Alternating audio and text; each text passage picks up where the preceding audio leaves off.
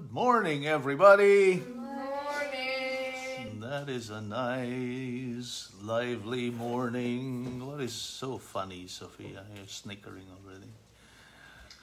Okay, today's August 28, 2020. It's already Friday, and today we are celebrating a very nice feast. A feast of one of the greatest doctors of the Catholic Church, who goes by the name of what, Mia? Saint Augustine. Saint Augustine of Hippo was the bishop of Hippo, a great doctor of the church, great philosopher.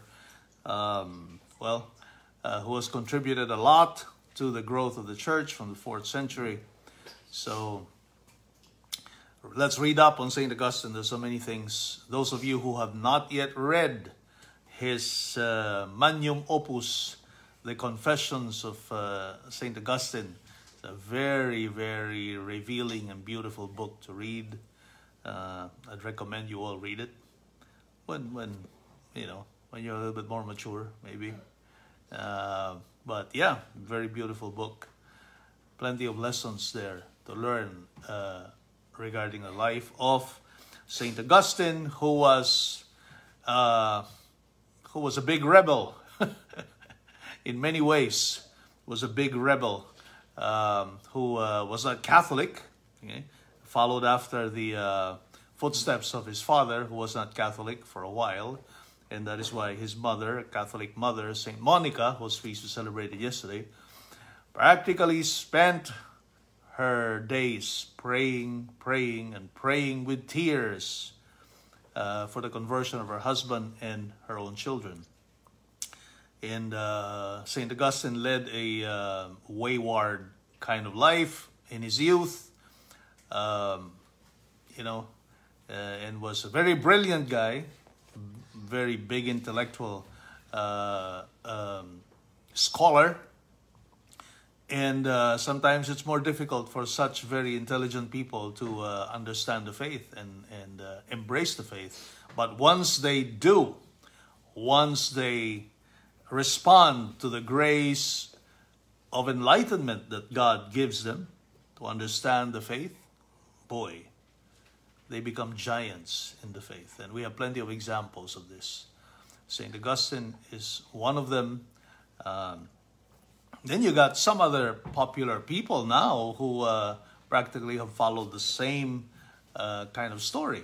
You're very familiar with Scott Hahn, for example, right? So uh, Scott Hahn was one of those uh, people who, uh, you know, uh, was an intellectual who didn't quite understand the Catholic faith and in fact uh, persecuted the faith like anything until until um, he realized nope Catholic faith is the true faith. And got converted and now puts all of his effort into preaching the true faith to other people. Okay, so those of us who are on edge about our faith and don't know how to understand our faith, uh, let's turn to St. Augustine that we may obtain the help from God to understand uh, our faith better. Okay, so today we're going to be commenting on a very interesting gospel passage. Um, it's from St. Matthew chapter 25 verses 1 to 13. It's a long gospel, and we're going to hear more of it at Mass today, but I just want to give you the description and, uh, and some historical and cultural um, uh, notes around this particular parable. Jesus tells about the parable of the ten virgins, right? The ten virgins who were tasked to accompany the groom and the bride in the wedding procession from the house of the bride to the house of the groom, which normally uh, during the Jewish custom happens at night, you know, and they are tasked to carry lamps, lighted lamps, uh, in a procession. So, like very much the way we do our processions nowadays when we process in the streets with the Holy Eucharist, right? We candles and all that. Of course, nowadays we use candles. But in the Jewish tradition, they had lamps, oil lamps. So apparently, the custom is such that when a groom is to marry a bride, okay, uh, the father of the groom gives a signal to the groom when it is time to fetch his bride. So uh, the groom's party will go from the groom's house to the bride's house and pick her up. Yeah, pick her up, and together they will go on a procession in the streets towards the house, back to the house of the groom. Okay? And that is where they would get married and celebrate. Okay? So, but on the first night, when that happens, there are only a select party that will be allowed to get inside the groom's house. And this would be the 10 virgins, okay? And some other select friends who would go back with the bride and groom back to the house of the groom to start, excuse me, to start the whole wedding ceremony and and the whole uh, celebration, which takes days, many days from there. Okay? So, so our Lord tells of this story of these 10 virgins. They're supposed to be intimate friends of the bride and the groom. Okay? So they're just not anybody. They're supposed to be friends, good friends, uh, intimate friends. Most of them will be childhood friends because these are these are people who have lived in you know these kinds of small communities and they're very well known to the bride and the groom, right? So there is friendship that they share. Okay, there's intimacy, right? Well, that, that they share with the families that they assist in uh, in this whole ceremony by by lending their service to the bride and the groom as lamp carriers, as you know, uh, yeah, the virgins who will carry the lamps. Okay, so our Lord tells of the story. Well, okay, so there's this wedding, there's a groom, there's a bride, and then there were ten virgins. Now, but they were waiting and waiting in the house of the bride and the groom was not coming. He was delayed for some reason, right?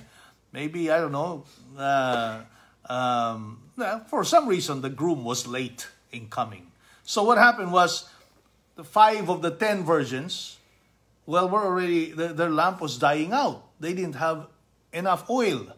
So they begged the other five, give us some of your oil so that we can keep burning our lamps. And then the, the wise virgin said, Oh no, if we give them to you, then we're all going to run out. Then nobody can accompany the wedding party anymore. So go out and buy. Oh, okay, so they reluctantly went out, bought more oil. But while they were out, the groom arrived. Oops. So only those who remained, the five wise virgins who remained, were the only ones who were able to accompany the bride and groom to the house of the groom. And when the foolish ones came back and said, Ah, ah, they left us. So they started running after the party and started knocking. Uh, when they arrived at the groom's house, they started knocking, hey, hey, hey, let us in, let us in. And the groom said, mm, ah, sorry. Sorry, no more. Door is shut. You know, you're foolish. You don't, you, uh, I don't know you. you know, I entrusted you with such an important task and you can't even prepare for it. You can't even be ready you can't even have what you need to perform a very simple duty of keeping your light, your your lamps lighted and accompany us. So never mind. Means you're not really my friends. So, lesson for us that our Lord wants us to understand here is we should always be prepared. Because just like yesterday's gospel, right? You don't know when the master of the house is coming. So this is still the same trend of thought that we have to be vigilant in our lives. We have to be vigilant. We have to keep watch. We have to keep vigil. Right? We have to keep vigil, watching, waiting for the arrival of the groom. Okay? Yesterday, the imagery that our Lord used in the gospel of yesterday was the master right? The master of the house. Okay? Because our Lord is master and Lord of, of everything, of our lives. Right? Okay? So we have to await the return of the master. This time, our Lord gives us the image of a groom and a bride. okay. what is the image here that our Lord is, is trying to project? The groom is Jesus. The groom is our Lord. The bride is his church. Right? That's the imagery that, uh, that, that uh, the church, in fact, uses uh, of this relationship between Jesus and the church. The church means the people of God, all of us, right? Jesus is the bridegroom, the church is the bride, and he is going to marry the bride. He's going to unite with the bride. He's going to uh, have a, an intimate relationship with his bride and bring her, bring the church to his house. What is his house? The kingdom of heaven, where there's going to be feasting and celebration, okay, forever. And only those who are ready, only those who kept their lamps burning will be invited in. And those who didn't do a good job, okay, those who didn't do what they were supposed to do on earth to accompany the church to the wedding feast, will be shut off. Okay? And the bridegroom will say, Well, I don't know you. In the same way, remember, so there are different images here of heaven and, and, uh, and people who are invited in, right? So, so you, you, you recall that a few days ago we were also commenting on the, uh, the, the, the king and the wedding feast, right? And there was somebody who didn't have a wedding garment, right? So that person was also not prepared to put on the wedding garment. So, hey, out of here, right? So now, the image of preparation and preparedness is is uh, um, um, portrayed here by way of the virgins and their lamps. Okay, so beautiful image, the virgins and their lamps. Okay, now, so yesterday we said we, we asked the question, how do you watch? How do you keep vigil? And we concluded borrowing what our Lord told his apostles, right? Watch and pray. And we enumerated the different ways by which we can watch and how we can pray, keeping the presence of God all throughout the day. Okay? Keeping the presence of our Lord all throughout the day with prayer. Now you see, now it's the lamp. We have to prepare the lamp, the fire. We have to prepare for the fire to keep the fire, the life of, of, of grace in us, the life of faith in us, we have to keep it burning. But what keeps that fire burning? What causes the combustion? What causes the combustion? Okay? The reaction of oxygen and, and, and vapor when once you once you uh, light it, it boom. What causes that? What causes that combustion to keep that flame afire? The oil. The oil, right? The oil. So, the question for us is what what is that oil? What is that oil that these foolish virgins eh, did not bring enough of? See, the, remember, it's not that they didn't bring oil. They actually brought oil, right? They actually did some kind of preparation. They actually had a little bit, uh, a little bit to to to uh, to start with, to start that oil. I mean, the, the, the lamp burning. The problem is they didn't bring enough. In other words, they didn't do enough. They just did the minimum. They just provided the minimum. that is that that was the problem. They were given a task to perform and they performed it without giving it their all, without putting everything that was required to do it, without supplying the most important ingredient, the most important ingredient to keep that combustion going. They didn't supply enough of it. And that is why their flames went off. What is that oil in our own lives that we have to keep supplying in everything we do so that the flame the flame of our of our life that lightens up the day that lightens up the path where the church and our bridegroom Jesus Christ would pass through will keep burning until we reach the house of the groom which is heaven. Okay? we are given a task. Our task in life is to keep that flame burning. Now that flame is a symbol of many things. It's a symbol of our faith is a symbol of our love because the flame is just an effect, right? It's a symbol of, of how much we believe and trust in God. It's a symbol even of our, of our service to others, right?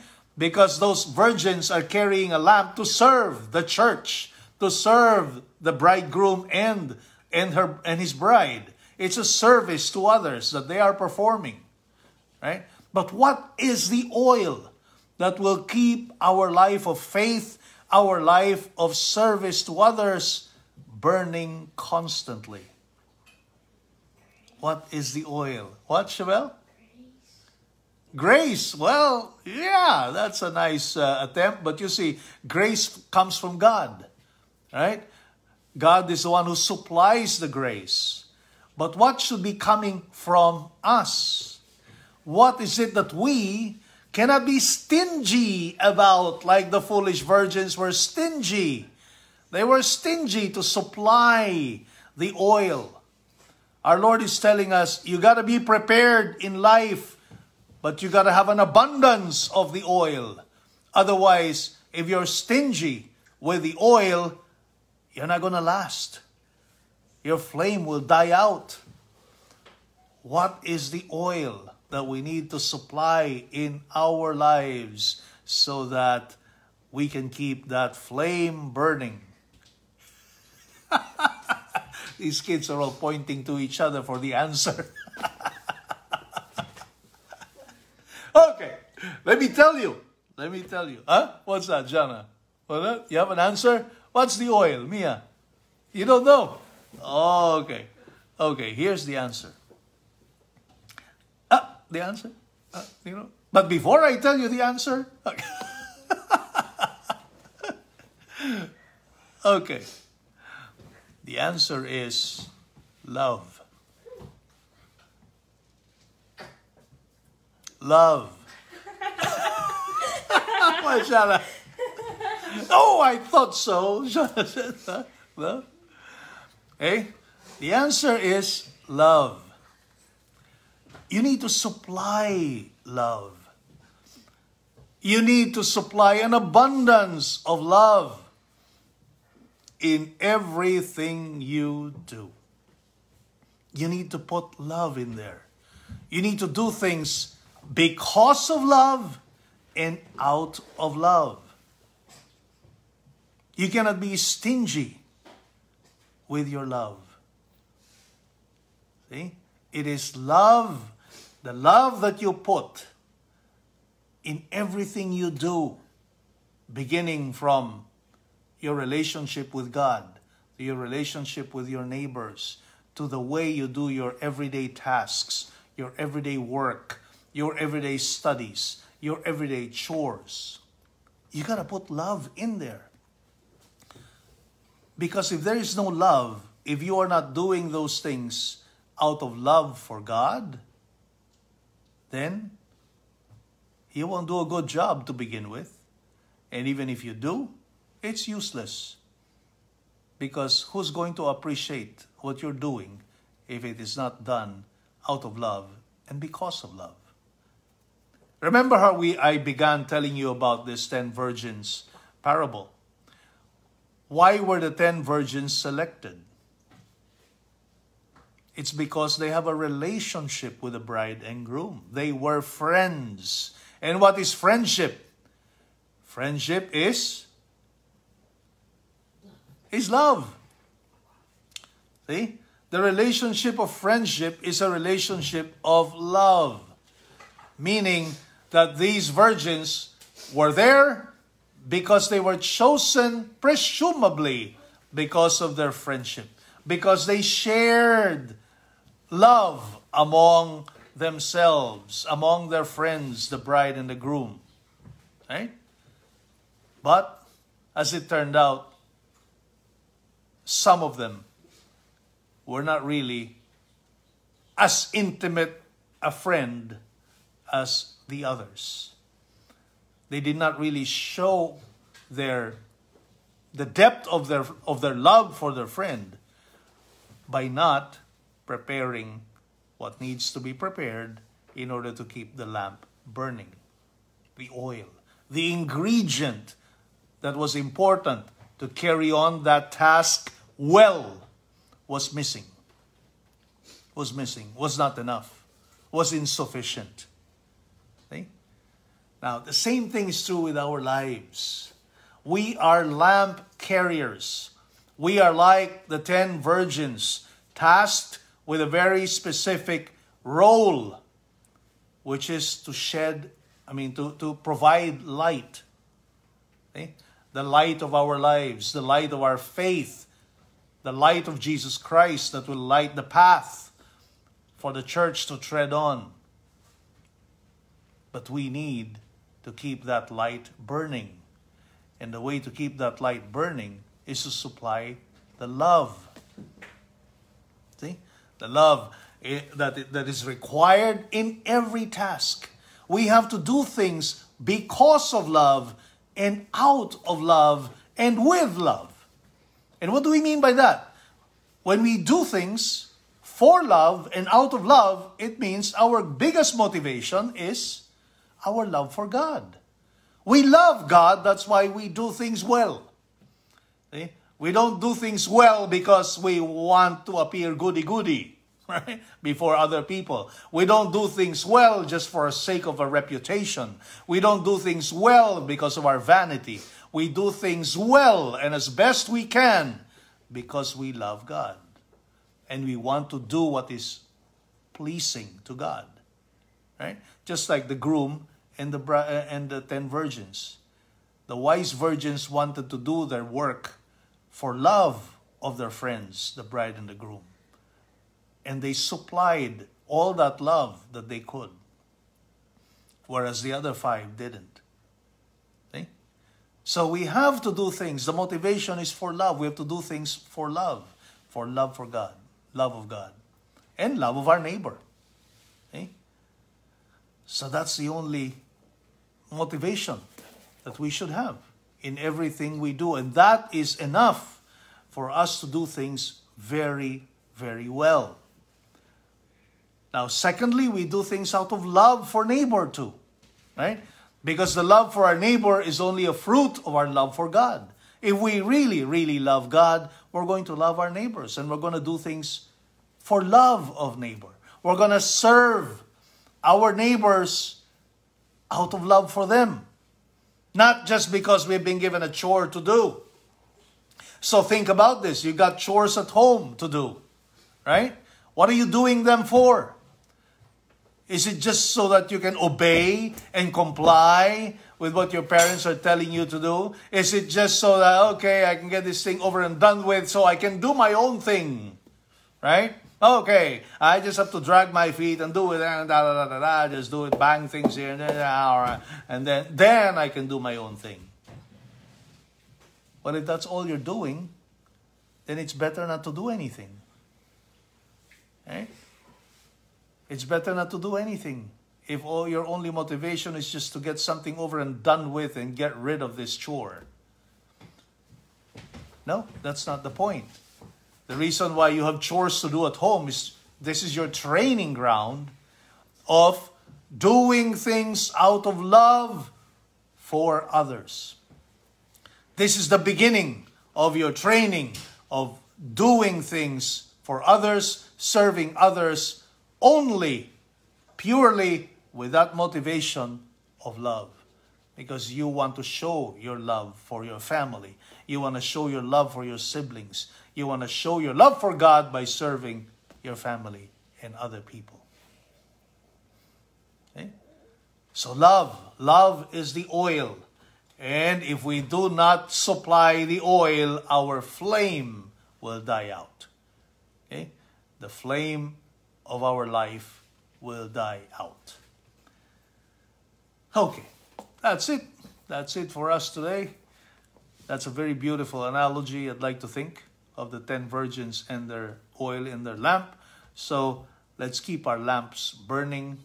Let's learn to keep our love and supply the love in everything we do to keep the flame of our life burning until we enter the house of the groom to celebrate the wedding feast with them eternally in heaven. Okay, that's it for us, everybody. Let's be ready to go to Mass now. and, uh, well, I wish everybody a good, happy, productive, fruitful weekend ahead of you. Yes, Joe? Yeah. We'll do catechism after Mass. Yeah, today. Okay? Okay. Bye bye, everybody. Have a good weekend. Bye bye bye.